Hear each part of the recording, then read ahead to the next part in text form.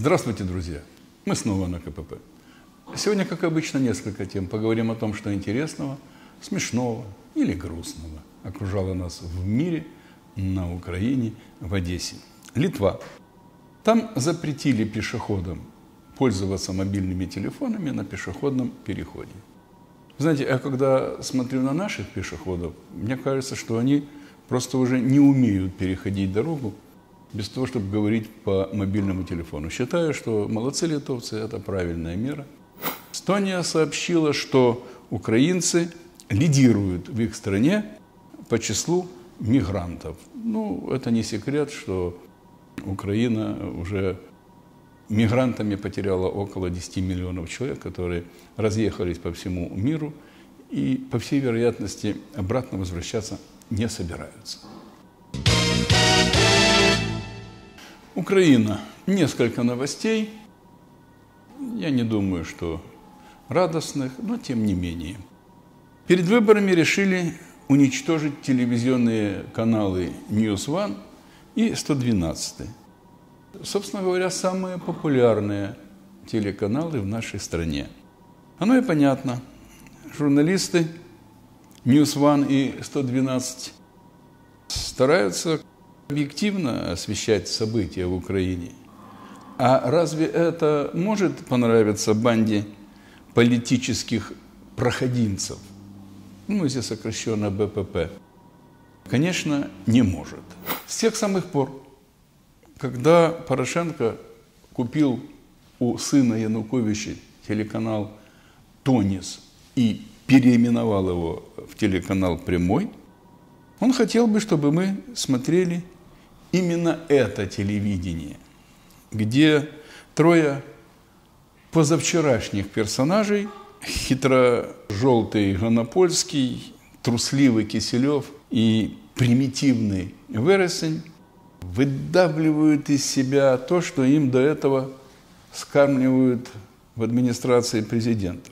В общем, чтобы мы смотрели шоу для идиотов. Самое печальное другое что за уничтожение One и 112 каналов проголосовали те, кто еще вчера кричали с трибун о необходимости свободы слова. Это радикальная партия этого Лешка и Бют, к моему удивлению, и самопомощь, ну и прочие внефракционные дешевки. Хотя, с другой стороны, кого это могло удивить? Итак, наш некогда европейский город Одесса, а нынче поселок городского типа с таким же названием. Печальное известие. Умер Роман Карцев, как говорится, последний из магикан, олицетворяющий собой неповторимый дух старой Одессы. Уходит эпоха. Уходят люди, которые на улицах города еще слышали веселый, радостный смех одесситов, а не мат заезжего быдла. Уходит, уходит эпоха. Печально. Пока Труханов где-то там бегает, якобы в отпуске, а может быть, был предупрежден о том, что надо делать ноги, пока не поздно, потому что мы уже когда-то об этом говорили, что он успеет убежать. Во всяком случае, мэру и его соратникам по воровскому бизнесу вручили обвинительный акт по делу Украина. Вручили и составили этот акт детективы НАБУ. Там 8 человек проходят по делу. Во главе с Трухановым, его заместителем Вугельманом, там из комиссии, там и департамент коммунальной собственности, спектр. В общем, фигуранты все давно известны, и мы о них неоднократно говорили. По сути, НАБУ выполнила свою функцию, хотя им постоянно мешают. все эти Порошенки, Луценки и прочие Холодницкие. Теперь дело за судом. Дело за судом. А интересно, какой суд будет рассматривать дело Труханова и компании? У нас же в Одессе все суды просто образец честности и справедливости. Не знаю, надо будет посмотреть, потому что я не думаю, что вот эти прикормленные районы, слишком очевидно будет, я имею в виду Суворовский, Киевский, они, наверное, нет. Скорее всего, Приморский или Малиновский. Ну, время покажет. Но у меня такое ощущение, что я, в принципе, знаю, чем это все закончится для Труханова. Друзья мои, те, кто смотрят КПП, знают, если появилась черная папка, следует ожидать журналистского исследования. Ну, исследования биографии какого-либо персонажа или какого-нибудь явления нашей с вами жизни. Я получил письмо, которое подписало 27 человек. Вот здесь написано Уважаемый Александр Эдуардович, убедительно просим вас провести журналистское расследование по фактам, изложенным в нашем коллективном заявлении, результаты озвучить в вашей программе, так как коррупция в Министерстве обороны Украины можно победить только с помощью средств массовой информации и так далее и тому подобное. И я решил рассказать вам эту историю. Меня вызвал интерес не только сам факт очередной несправедливости, мы уже к этому привыкли в нашей стране, а то, что люди до того, как обратиться ко мне, искали защиты от негодяев из Министерства обороны. Вот у кого? Президент Порошенко, Поруби, Гройсман, Турчинов, Луценко, Грицак, Аваков, Сытник, Набу и так далее. Но заканчивается все обращением к послу Соединенных Штатов Америки в Украине. Они уже не знали, к кому обращаться.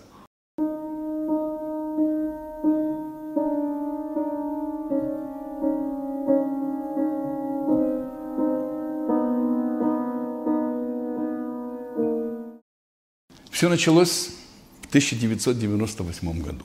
Воздух свободы пьянил отпетых патриотов, открывающимися перспективами независимости. Свинопасы надели лампасы и занялись распродажей всего, что попадалось им на глаза, начиная с портянок, заканчивая танками. Министерство обороны лихорадочно распродавало казармы, котельные, автомобили, амуницию, военные городки, вооружение и даже военные тайны всем, желающим их купить. Именно в то время полковники и генералы из Генерального штаба, из Министерства обороны стали владельцами золотых и платиновых банковских карт. В тот год министром обороны Украины был генерал армии Кузьмук, под чьим руководством вооруженные силы Украины совершили ряд подвигов. Наиболее известный из них – это трое погибших и пятеро раненых после попадания украинской ракеты – в жилой девятиэтажный дом в э, Броварах. И второй подвиг – это гибель 78 пассажиров самолета Ту-154, который случайно был сбит над Черным морем нашей ракетой. В общем, гениальный украинский полководец, как вы сами понимаете. А еще под началом Кузьмука был военный городок номер 7 в Одесской области, который значился как ВЧ-4139. Его он продал тоже. Замминистра обороны, генерал-полковник Стеценко и генеральный директор общества «Промрынок» заключают договор. Министерство обороны отдает им 1 гектар, 1,2 гектара асфальтовые площадки. Это часть военного городка с сроком на 49 лет. А рынок платит аренду и выделяет пользование Министерства обороны 50 мест под установку торговых контейнеров. На арендованных 50, по сути, клаптиках асфальта – Люди ставят свои собственные купленные контейнера и начинают работать, оплачивая, по сути дела, аренду Министерства обороны вот за эти кусочки асфальта. Но все равно защитникам Родины все кажется мало. Министерство обороны требует перезаключить договор, увеличить срок аренды. Что там 49 лет? Давай на 99 лет заключим срок аренды. Но они не считали, что они вечные. Это, наверное, вот эти генералы, это из тех, которые, когда пишут завещание, начинают их словами «если я умру», то дальше по тексту.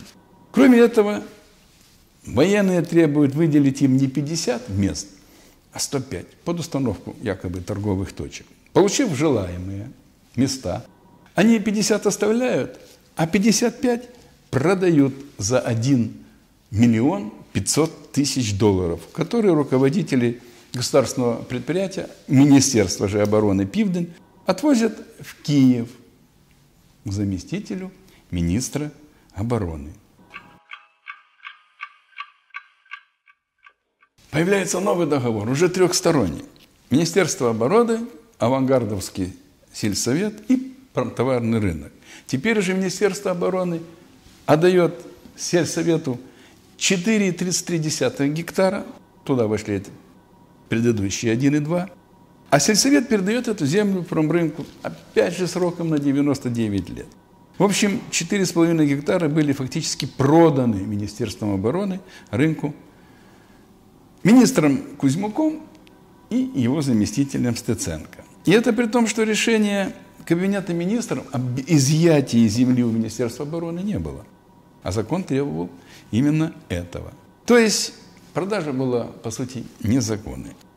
Но за счастье надо платить. Хозяин рынка, седьмой километр, Добрянский, отвозит 5 миллионов долларов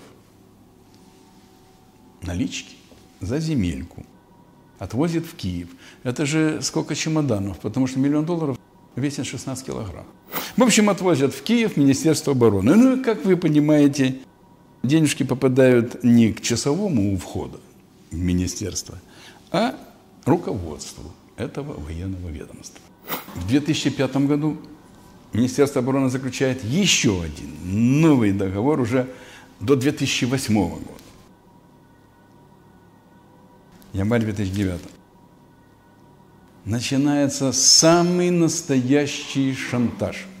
Предприниматели получают уведомления о заключении новых договоров с государственным предприятием Министерства обороны Пивден. Сотрудники Пивдня ставят условия. Хотите остаться на своих местах? Хотите работать? По 100 тысяч долларов с каждого контейнера, и мы подпишем с вами договор. А нет, так мы подпишем с другими. Предприниматели в ужасе. Какие 100 тысяч? Ну ладно, с смилостивились военные. Давай 80 тысяч. Да нет у нас таких денег. Ну хорошо, вот по 40 тысяч последняя цена. Дадите, тогда останетесь. И получили они эти деньги, вот эти негодяи. Радости предпринимателей не было предела. Ура! Государственное предприятие Министерства обороны Пивдень и сфера управления военного ведомства передано Государственному комитету Украины по вопросам регуляторной политики и предпринимательства. Предприятие, грабившее людей, вышло из-под контроля Министерства обороны. Государственное предприятие «Пивдень» переименовывается в государственное предприятие ТВК. Короче, Министерство обороны второй раз утратило право пользования 50 торговыми местами на улице Розовой, на промтоварном рынке седьмой километр. И уже ТВК распоряжается и заключает новые договоры. В 2014 году, когда началась война с агрессором, в недрах Министерства обороны стали готовить спецоперацию по захвату рынка седьмой километр. Начинает активно действовать уже министр Полторак, понимающий, что с уходом рынка из-под влияния Министерства обороны иссякает денежный поток из Одессы в карманы руководства Министерства обороны Украины. Он обращается в Фонд государственного имущества, готовит проект постановления Кабмина, передает его Министерство экономики. В общем, делает все, чтобы обратно вернуть себе утраченные 50 мест. Полторак поручает концерну военторгсервис осуществлять действия, связанные с прекращением, либо с заключением договоров с предпринимателями, то есть владельцами торговых 20-фунтовых контейнеров на территории рынка 7 километр по улице Розовая. С этой целью в филиале военторгсервиса в Одессе вводятся две новые должности, на которые не совсем законно принимаются на работу некто Кутовой и Томченко. Они-то и начинают вымогать деньги с предпринимателей. И стали запугивать людей, продавать их контейнеры третьим лицам. Понимая, что закон не на их стороне, негодяи из Министерства обороны стали нанимать тетушек и бандитов из революционного городского быдла, РГБ сокращенно – и попытались силой захватить чужие контейнеры, то есть совершали попытки разбойных нападений. Но люди смогли дать отпор этим отбросам, хотя не все. Кутовому и Томченко удалось собрать с людей 500 тысяч долларов. Но сколько веревочки не виться, а конец найдется. В общем, 25 ноября 2016 года Кутовой и Томченко были задержаны сотрудниками УСБУ в момент получения части взятки в сумме 75 тысяч долларов и арестованы. Там часть 4 статьи 368. Находясь в ВВС, Кутовой и Томченко постоянно связываются по телефону со своим шефом, с Павловским, замминистра. И говорят так, если ты, значит, не приедешь и нас не вытащишь из ВВС, то будем сидеть вместе, так как откроем рот и начнем рассказывать о тебе много интересного. Это могло бы выглядеть как вымысел, если бы не одно «но». Замминистра обороны Павловский примчался в Одессу и, используя свои связи через начальника СБУ Батракова, а очевидно СБУ, которая задерживала этих вымогателей, в общем-то, наверное, заводила дело оперативного учета, чтобы реализовать его – и благосклонности судей вытащил Кутового, вытащил Кутового и Томченко из СИЗО на свободу под залог. Причем весьма залог небольшой. Помогли и сотрудники региональной прокуратуры, за что получили три торговых места на улице Розовой. Номера контейнеров известны на рынке седьмой километр. Кстати, стоимость взятки 300 тысяч долларов, каждый контейнер по 100 тысяч. Кстати, я вначале обещал рассказать о результатах рассмотрения жалоб. Результаты были очень жесткие, и там оттуда, отовсюду Генеральная прокуратура, МВД, Порошенко, все в Одесскую область все прислали и сказали, да как же так, что это за безобразие? А в Одесской области сказали, да, конечно, безобразие. А ну давай в район а Авидиопольский отправим. Что это, пусть людям помогают. А Авидиопольский отдел полиции говорит, да это же невозможная наглость. Все, давай сюда. Короче, все попало к участковому на базаре. И этот участковый с рынка, седьмой километр, он, по идее, должен был вызвать министра обороны, сказать, ты чем там занимаешься, дай объяснение и прочее. Ну, просто, знаете, издевательство. Но и это не конец истории. Все продолжается. Контейнеры, принадлежащие предпринимателям, продаются уже по третьему и четвертому разу. Продаются посторонним людям по 50-60 тысяч долларов за контейнер. Обманутые покупатели приходят, спрашивают, а где наш контейнер? А им говорят, ребята, какой ваш? Они говорят, да мы купили у Министерства обороны. Да нет, мы с 98 -го года уже здесь стоим и работаем, это наши контейнеры. Вас кинули так же, как пытаются сделать с нами. А вообще, мне интересно, как расходятся эти сотни тысяч и миллионы долларов с рынка седьмой километр? Кому достаются эти значительные суммы? Помните, как в песне у Владимира Высоцкого «Где деньги, Зин?» Хочу спросить об этом. Хочу спросить замминистра обороны Павловского, юриста Марочкина, Каратаева из организации «Пивдень», Здора из военторгсервиса, Короля из Одесского филиала, Соловьеву оттуда же, отставника, Амросимова, адвоката Штагрина, военных прокуроров Якубовского, Нетужилова, Ванжу, гражданина Ратушняка, Гребенюка, Галушку, Кулинич. В общем, короче, имя им легион и многих-многих других. Но все известны и обо всех все известно. Ну, с другой стороны, может, они знают, куда расходятся миллионы долларов, куда деваются взятки по 20 тысяч, 25, зафиксированы нами, 50, 80, 100 тысяч.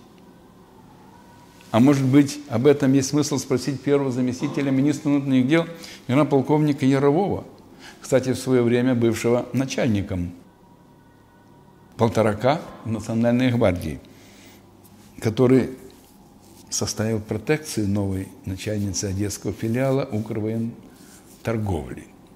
В общем, спрашивать есть кого за беспредел, который творится на самом крупном Европе промтоварном рынке седьмой километр. Надо понимать, что над всем этим стоит министр обороны Украины, генерал армии Полторак, и его собачья сфора. Хотя нет, скорее крысиная стая, жадная, беспринципная, живущая и не по законам, и не по понятиям, кстати говоря. Впрочем, Полторак пытается дистанцироваться от происходящего на рынке. Дошло до того, что пришлось обратиться к очень серьезным людям с просьбой поговорить с министром обороны. На их вопрос «Степа, что ты там вытворяешь в Одессе на седьмом километре?» Полторак ответил «Дескать, я тут ни при чем». Сказал, что это не его тема – и что по рынку он просто исполняет просьбу заместителя министра внутренних дел и одного весьма уважаемого человека из Генеральной прокуратуры Украины.